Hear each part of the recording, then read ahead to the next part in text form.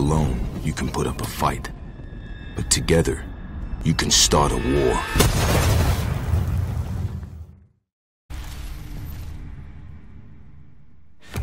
Pleasure watching you work, crew.